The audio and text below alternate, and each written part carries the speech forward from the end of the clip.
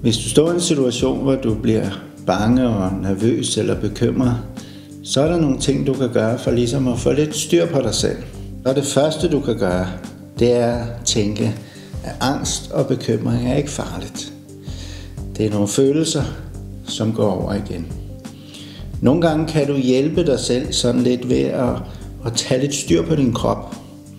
Hvis du nu samler dine hænder og knytter hænderne så hårdt du overhovedet kan, og spænder i hænderne og i armen og helt op til skuldrene, så får du lidt styr på dine muskler. Og hvis du så samtidig trækker vejret lidt dybere ind, sådan, måske endda kan mærke, at det bliver lidt køligt op i næsen, og luften kommer godt ned i maven, så hjælper det dig til at slappe lidt af imens.